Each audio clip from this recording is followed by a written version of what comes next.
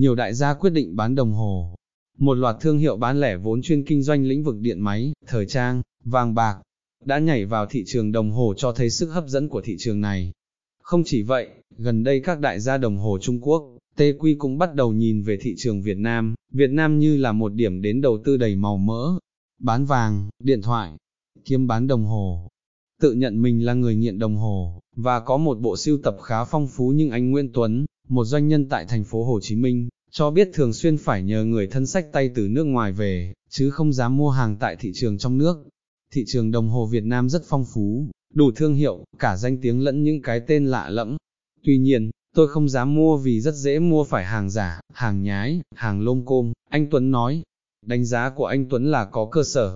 Ông Hồ Quang Thái, Phó tránh văn phòng thường trực ban chỉ đạo 389 quốc gia về chống hàng giả, hàng nhái, từng thốt lên rằng 80% đến 90% đồng hồ tại Việt Nam là hàng giả.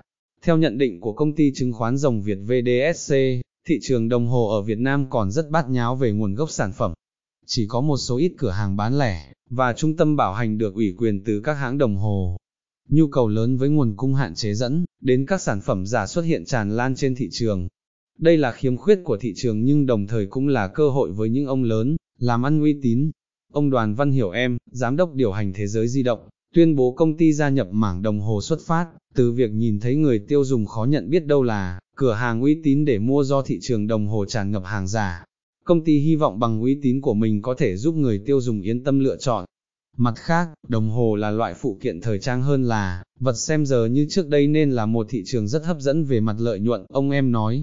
Thực tế sau khi nhảy vào thị trường này, thế giới di động đã thu được kết quả tích cực. Chính vì vậy công ty đã lên kế hoạch mở bán mặt hàng mới này, tại 40 cửa hàng nửa trước tháng 6 năm nay. Với việc từng bước tiến sâu hơn vào mặt hàng đồng hồ, thế giới di động đặt mục tiêu kiếm thêm 5.000 tỷ đồng trên năm từ lĩnh vực kinh doanh mới.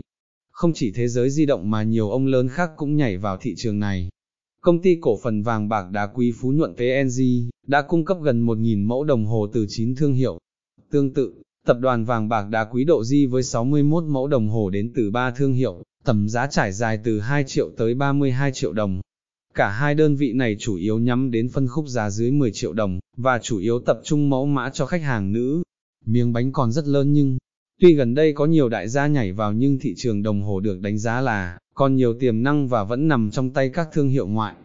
Hơn nữa, hầu hết thương hiệu đồng hồ danh tiếng đều được sản xuất tại TQ, nên theo cách hiểu nào đó, người Việt Nam càng chi nhiều sẽ càng đem miếng bánh lợi nhuận đẩy về TQ.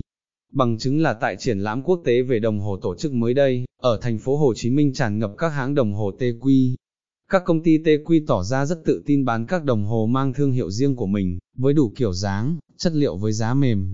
Ông Hứa Giáo Nguyên, Chủ tịch Hiệp hội Đồng hồ Quảng Châu TQ, cho biết các công ty sản xuất đồng hồ TQ rất quan tâm đến thị trường Việt Nam.